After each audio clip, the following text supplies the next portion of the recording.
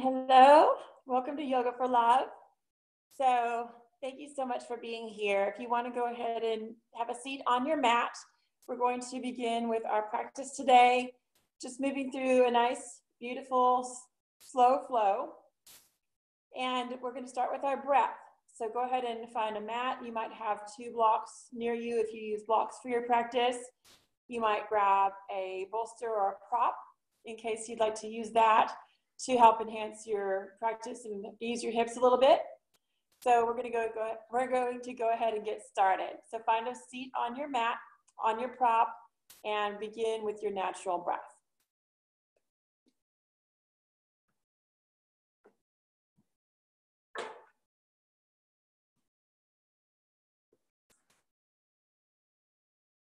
So you can find your ankles crossed underneath you. You can also come into half lotus with one of your ankles over your femur, if you'd like that. If that feels good for your hips, if that's too much, you can also come into just Siddhasana and have the ankles separated. If your knees sit high, grab two blocks or two blankets, and you can tuck them under the outer edges of your legs. Turn our palms open onto our lap. Close down the eyes. Begin to breathe in and out through the nose.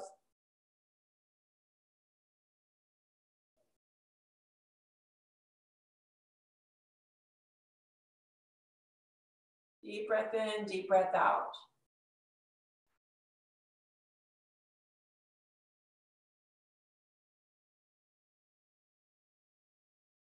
One more nice, long, deep, full breath. And exhale through the mouth.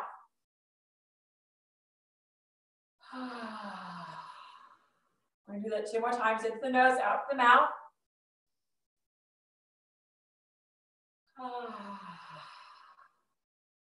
With a ha, big breath in.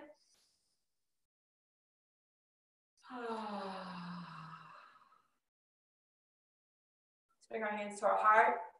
Take a moment to set our intention for our practice today.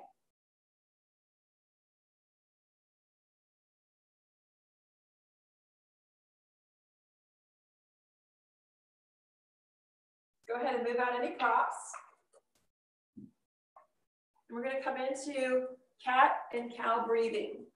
So fingertips are going to be wide, knees below the hips, Hands beneath the shoulders. And we're going to relax the low back into a natural curve. We're going to inhale, lift the tailbone, lift the heart, open the chest, and look up into cow. And then exhale with a ha. Ha. And then just roll the shoulders side to side. Roll the hips side to side. Keep your exhale. And then on the next inhale, scoop into cow. On the exhale with a ha, and then just roll the shoulders side to side. Ha. One more time, inhaling into cow. And exhale. Ha. Let's reach our hands forward. We're gonna move into downward facing dog. So tucking the toes, don't go there yet. We're gonna push back onto the heels. Spread out the fingers. And even if you've been in down dog 200 times, I'd like you to follow my cueing today. Take and spread out your pinky toe. So all your toes are touching the mat and the ball of your foot is engaged in the mat. Spread out your fingers and create a little space underneath your palm, kind of like a starfish. We're gonna let the head drop down and bring the knees right underneath the chest. Let the head relax between the arms. It may touch the ground, it may not, but just make sure your head's totally relaxed. The arms are straight and the elbows are off the ground. And as we inhale, we're going to begin to press the chest toward the thighs and straighten the legs. Coming into downward facing dog, and then we're going to exhale into turbo dog, lowering the knees. Inhale, downward facing dog. Exhale, turbo dog. Inhale to downward facing without locking out the knees.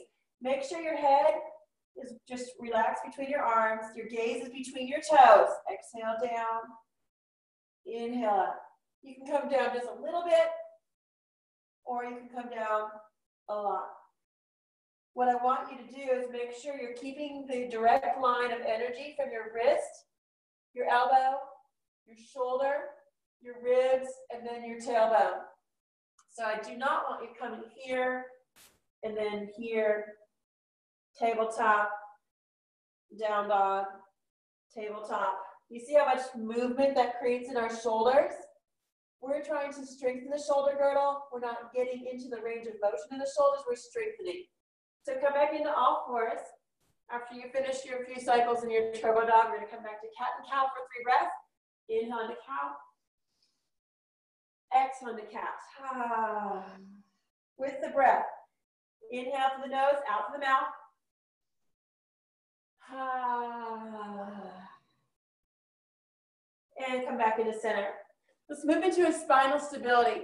So we're taking right hand forward, left heel back, press through the heel, maybe lift, and reach here. A nice long reach. Four, three.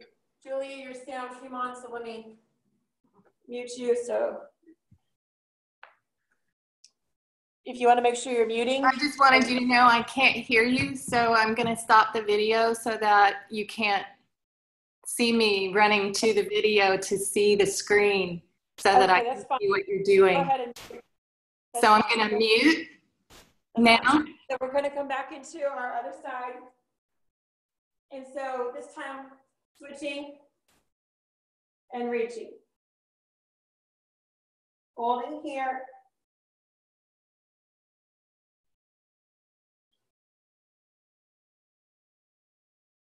And bring it back down. We'll switch again. And this time bring your heel to the sky. We're gonna pulse. 10, 9, 8, 7, 6, 5, 4, 3, 2, 1. Reach back and grab your foot. If you can't grab your foot, you can stay here. If you can, you're gonna come into tigress and kick. Opening the chest, opening the hip, and come back. Final balance. Bring it down. Inhale into cow. Exhale into cat. Come into center. And switching sides.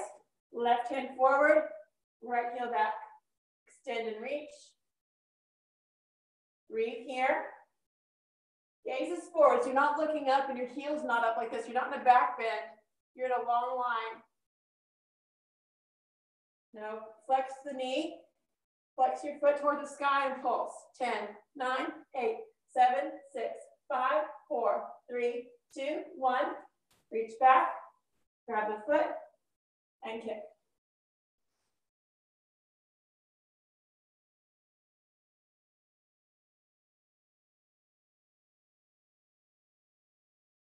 And come back to center.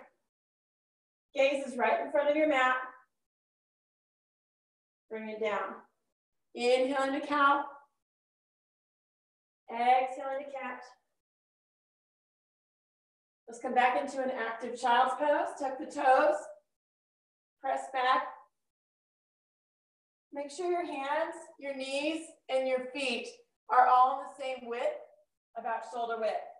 Head is relaxed. And again, five breaths into your turbo dog. Pressing your chest towards your thighs. Use your core strength. So don't come up into tabletop, but use your core. Keep this line of prana from your wrist to your tailbone as you inhale up as best as you can. Now we're going to exhale and just lower a little bit and inhale up. The exhale, you can lower a lot more and inhale up. One more. And we're gonna walk hands and feet together and find our forward fold, grab opposite elbows. Bring your feet to about shoulder width and let your head drop out. Shake it out. Gently rock. Side to side. Spread out the toes. Bend your knees. Reverse swan dive. Big breath in. Exhale, hands come to our heart. Come to the top of our mat. Feet together. Starting posture. Reaching up. Finding a nice, nice strong, upreaching Tadasana, Utthita Hastasana in our mountain pose.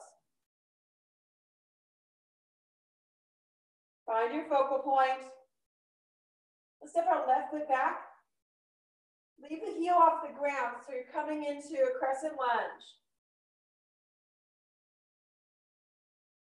Holding here. Take elbows wide and open the chest.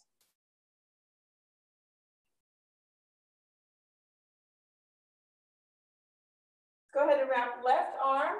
Grab your armpit. Going to turn toward the camera here. Lift your elbow high. Right arm, we're to grab the shoulder. Lift the elbows. We're coming into eagle arms. Backs of the hands can come together here, or you can keep wrapping the shoulders. If you can bring backs of the hands together. Shift your gaze so you can look out to the side of your arm and wrap the fingers, spread out the fingers toward the sky. Now, if you want to deepen a little bit more in your eagle arms, we're going to sink down nice and low. We're going to inhale, bring our forearms up toward the sky. Three breaths.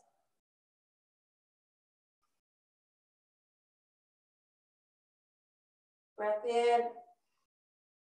Gaze forward, unwrap. Inhale up. Exhale, hands to our heart. Step front. Find your mountain pose. Slow with the breath, reaching up. Exhaling out. Inhaling up. Exhaling, hands come to the heart. Go ahead and bring your feet together. Come back to the top of your mat. Find your focal point.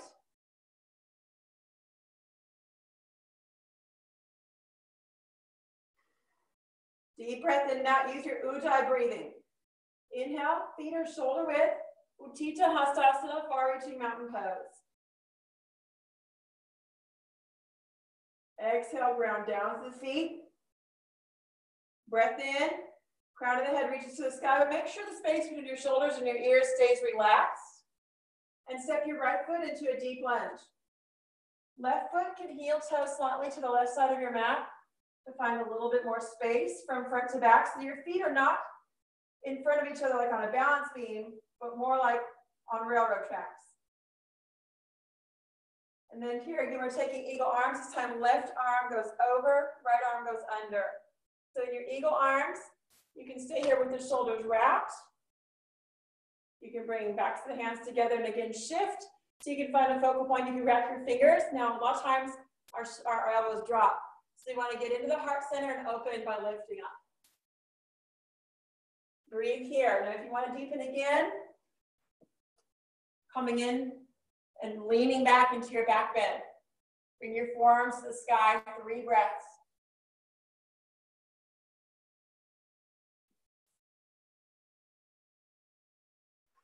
Big inhale. Gaze forward, exhale. Release the arms. Inhale up.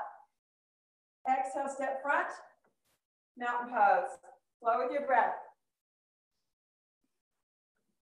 Exhaling it out. Reach all the way up. And swan dive all the way down. Inhale, halfway lift. Exhale, fold in half. Inhale, reverse swan dive all the way up. Exhale, hands come to our heart. We're gonna bring the feet together. Bring the arms up and wide. And from here, we're gonna wrap right arm under, left arm over. Coming back into eagle arms. This time we're gonna come into Garudasana. Lift the elbows. You can stay here, especially if you're nurturing your shoulders. If you wanna deepen, backs of the hands come together and shift so you can gaze out in front of you. Big breath in, spread out the fingers. Lift the elbows high to open the space between the traps and then then the slide down into your chair. Now from here, since the right arm's under, we're gonna bring the left heel up and step the left foot over. Touch your toes down. Stay in your chair stance. Push your calves together. Stay here. Or lift up your toes. Push your pinky toe in. Bring everything into center. Anything that's extraneous, that any kind of energy that's been wandering out there, bring it back to your center, your own energy. You can wrap your toes here. Breathe. Now listen up. We're gonna unwrap the leg. Stay on your right foot. Take your left foot back and come into warrior three. I'm gonna turn here so you can see what that looks like. Bring your gaze forward, flex your back heel, dorsiflexion, and push your arms forward and counterbalance. Deep breath in. Now if you touch down, just bring the foot down and back up. You can do that, that's totally fine. Sweep the arms back into airplane. Point the toes, spread out the toes, spread out the fingers. And step to mountain. Ha. Breath in, out with a ha. Ha. Two more. Inhale, out with a ha. Moving with the arms. Ha. Inhaling up. Exhale, hands come to our heart, feet together. Back to our Samasthiti, steady and strong starting posture.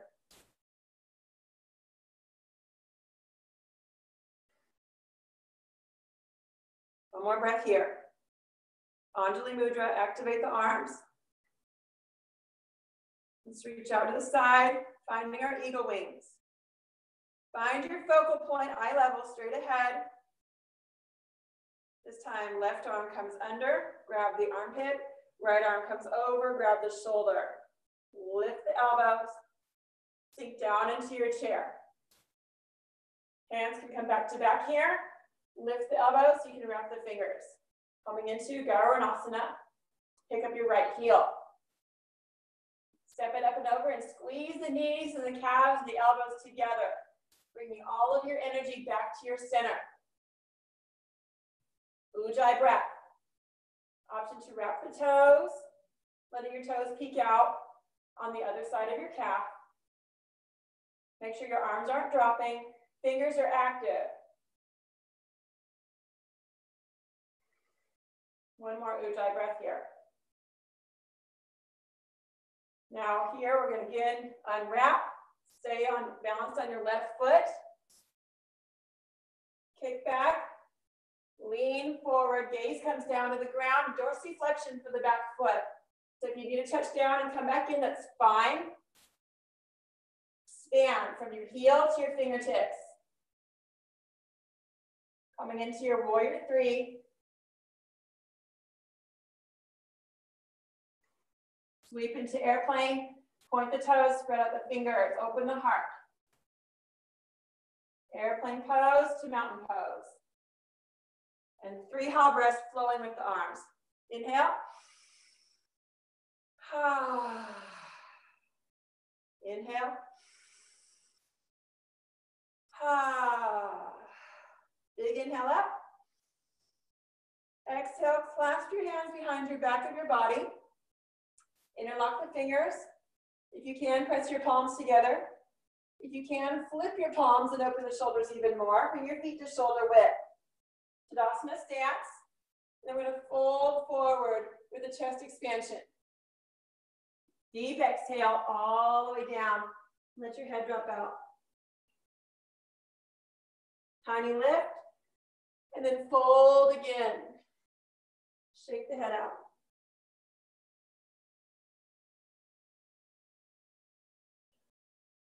Slowly release your arms with gentleness, coming into ragdoll.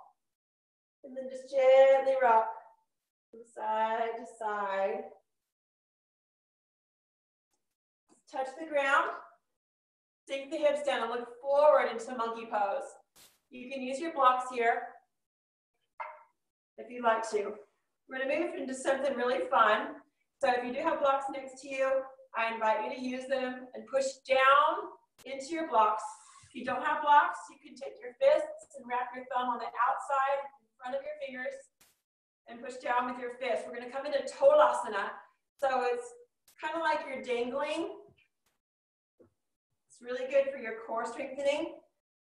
So pushing down and then begin to crisscross the ankles. Slow here, come back.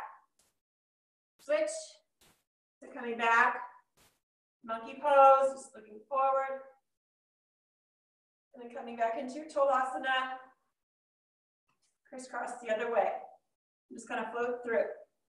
So you're just kind of dangling here. And come back. Come into goddess pose. Hands to our heart or to our third eye. Bring your heels out, toes in. Take a few breaths here. This would be a great time to work on your crow if you're working on Balasana. So, excuse me, Bakasana. So from crow, you're using your blocks, press your blocks flat side down and bring your heels onto your blocks. Hands come into our heart. So this acts kind of like a little prop, a little roost, if you will, for your crow.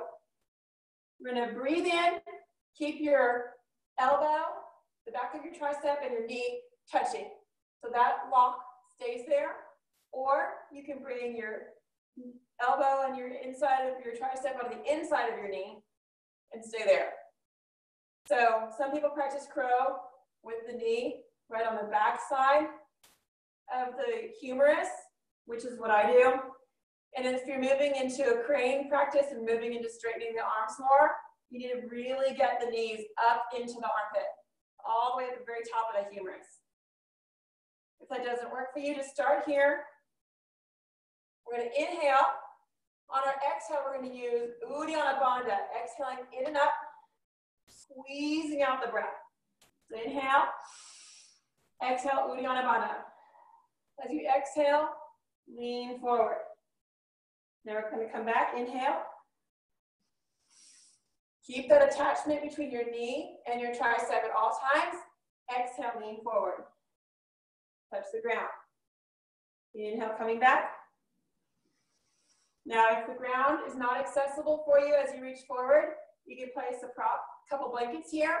And I recommend whenever you're practicing crow for the first few times, first few months really, make yourself a little crash pad.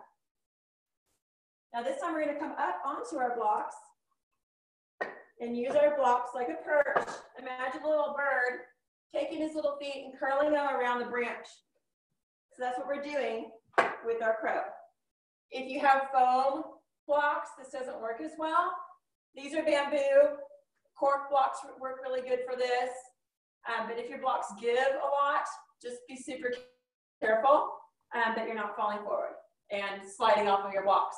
So again, Ujjayi breath, in out of the nose.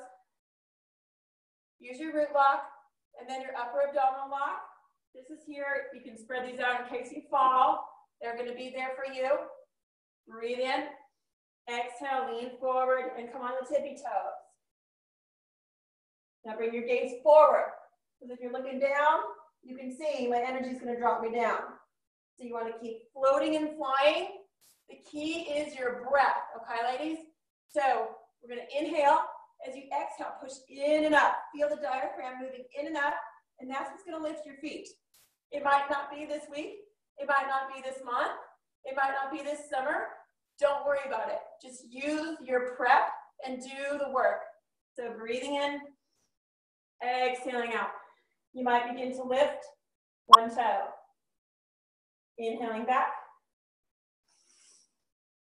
Exhaling forward.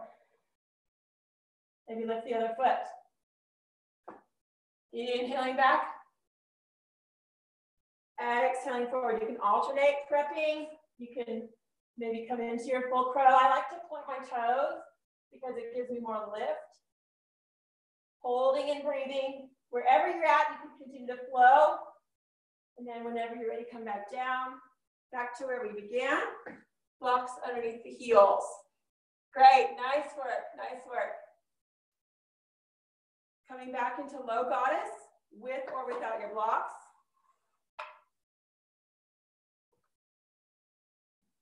Move your props out.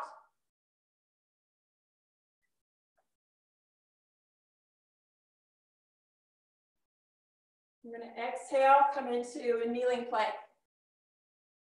Stepping back. Breath in. Breath out. We're going to lower down. Heart center first.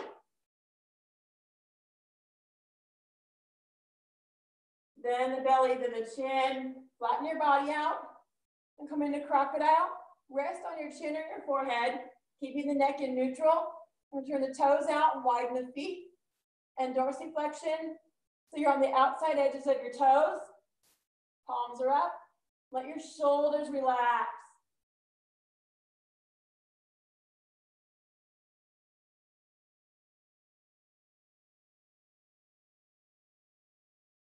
Deep breath here.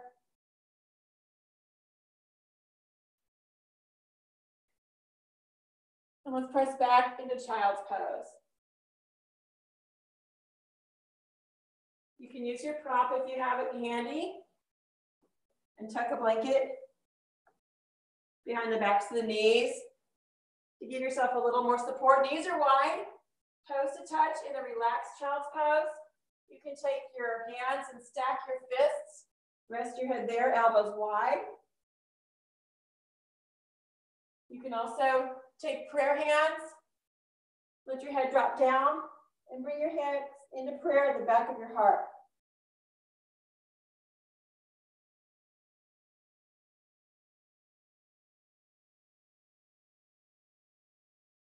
We're going to stay in our child's pose for our Shavasana. So I invite you to stay here as long as you'd like.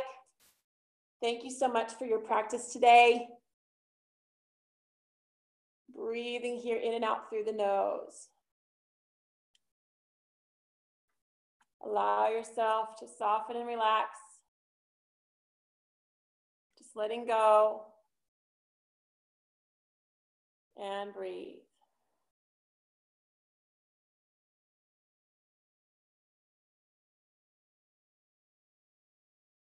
Travel to a beautiful, tranquil place in nature.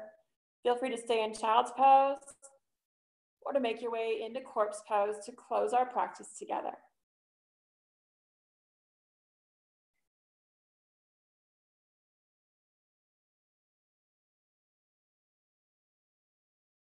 Namaste.